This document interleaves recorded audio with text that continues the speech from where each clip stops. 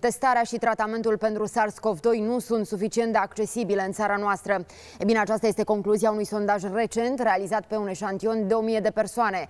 Mai bine de jumătate dintre respondenți spun că România este greu să intri în posesia acestui tratament pentru noul coronavirus. Dar mai multe informații pe această temă aflăm chiar acum de la colegul meu, Cristi Georgescu. Bună dimineața, Cristi!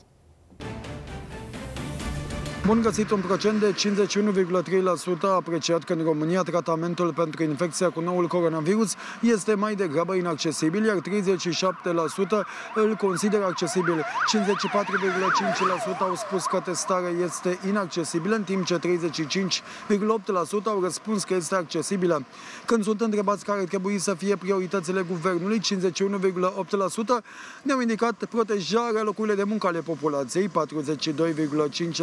desfășurarea școlii în bune condiții, 37,2% luarea de măsuri împotriva răspândirii infecției cu COVID-19, 33,3% lupta împotriva corupției, 32,4% creșterea salariilor, 32,2% susținerea mediului privat în economie, 31% îmbunătățirea sistemului de sănătate în general, 11,8% creșterea pensiilor, 10,5% construcția de autostrăzi, 8,3% comunicare mai bună cu populația și combaterea știrilor false, 5,1% ordinea publică.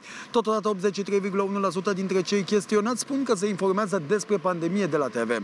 Din ziare și din presa online 20,7%, alte rețele sociale 17,7%, site-uri de specialitate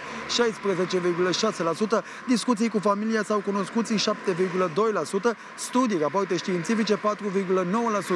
Totodată 37% au apreciat că România nu a fost ajutată de nimeni în combaterea pandemiei 35,2% au indicat Uniunea Europeană, 4,3% Germania, 3,2% NATO, 2,9% SUA, 1,8% China și 1,5% Rusia.